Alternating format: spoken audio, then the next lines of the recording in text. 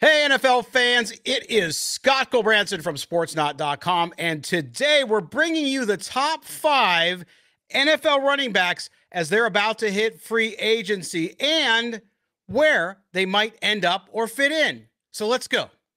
Starting at number five, we have Austin Ekeler of the Los Angeles Chargers. Despite a dip in his stats with a career low in yards per rush and only six total touchdowns, Ekeler remains a formidable dual threat back.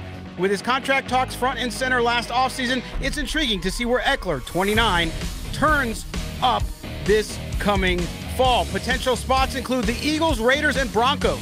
At number four, it's Tony Pollard from the Dallas Cowboys. Pollard boasts back to back seasons with over 1,300 scrimmage yards and is a versatile asset in the backfield. Yet, his yards per touch last season ranked 27th among those with 200 plus touches. As Pollard turns 27, it's uncertain if the Cowboys will heed Micah Parsons' call to retain this every down back.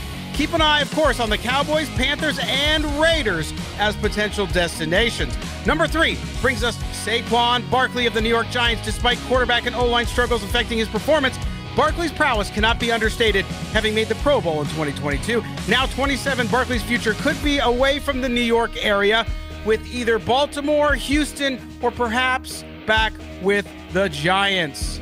At number two, it's Derrick Henry, the Tennessee Titans powerhouse. Henry shows no signs of slowing down, leading in rushing attempts and ranking second in yards last season. With a coaching change in Tennessee, Henry's next chapter could be with a contender. Potential landing spots the Ravens, Cowboys, and those Eagles. Topping our list at number one is Josh Jacobs from the Las Vegas Raiders. After leading the NFL in yards, from scrimmage in 2022, Jacobs is looking for a big payday despite the Raiders' reluctance to lock him down long term. Jacobs' performance remains stellar. The Raiders, Texans, and Patriots could be in the mix for his services. Ah, and don't forget, maybe even interdivision rival Los Angeles Chargers.